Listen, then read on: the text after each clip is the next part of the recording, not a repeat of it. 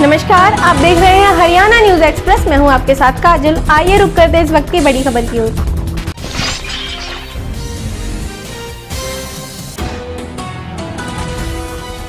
सांसद दीपेंद्र हुड्डा ने कहा कि कांग्रेस के शासनकाल में तत्कालीन मुख्यमंत्री भूपेंद्र सिंह हुड्डा ने पदक लाओ, पद पाओ की नीति बनाई थी, परंतु आज की सरकार ने खिलाड़ियों के प्रति भेदभाव दिखाते हुए अभी तक किसी भी ओलंपिक पदक विजेता को कोई पद नहीं दिया है।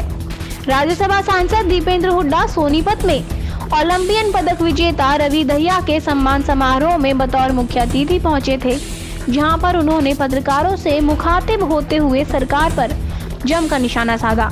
शहर के दिल्ली रोड पर ओलंपियन रजत पदक विजेता रवि दहिया का सम्मान समारोह का आयोजन किया गया था।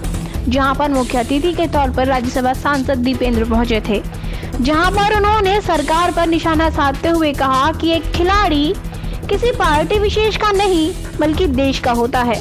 हमें खिलाड़ियों का सम्मान राजनीति से ऊपर उठकर करना चाहिए।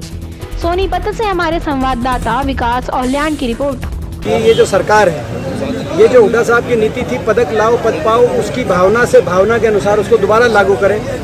आज उसी नीति के अनुसार मीरा मीराबाई चानू मणिपुर में उनको डीएसपी और एसपी लगाया गया। हरियाणा के अंदर हमारे सिल्वर मेडलिस्ट तो हमारे गोल्ड मेडलिस्ट हैं, सिल्वर मेडलिस्ट हैं, हरियाणा में आधे मेडल आए हैं। इन खिलाड़ियों को भी लगाया जाए। पिछली ओलंपिक की हमारी बहन साक्षी मलिक को भी अभी तक नहीं लगाया गया है। तो सरकार को लगाना चाहिए, उसी उसी नीति को सरकार लेके आए।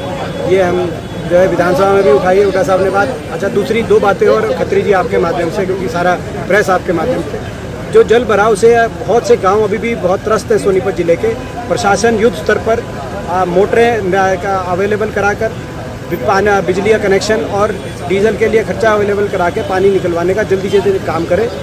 कई जगह बहुत व्यापक नुकसान हो गया। वहाँ पे स्पेशल गिरदावरी अभी अनाउंसमेंट हुई है, चंडीगढ़ में फ़ील्ड में कहीं किसी गाँव में स्पेशल गिरदावर नहीं आए। तो गिरदावर जाए स्पीड जो है उनका मुआवजा ज़्यादा ज़्यादा दिया जाए। और जहाँ फ़सल का नुकसान हो गया है और जो जहाँ जो है अपना दूसरी बात जो खरीद है तो दूसरा पॉइंट आपके माध्यम से आज क्वेश्चन की बजाय दो पॉइंट जो मैं चाह रहा हूँ। लेट हो गई।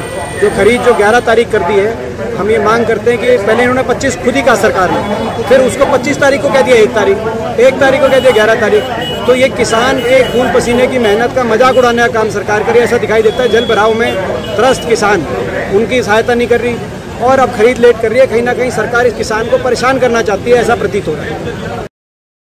हमारे फेसबुक पेज को लाइक फॉलो और शेयर करें। साथ ही यूट्यूब चैनल को लाइक करें सब्सक्राइब करें और ताज़ा खबरों के लिए बेल आइकॉन को दबाना न भूलें।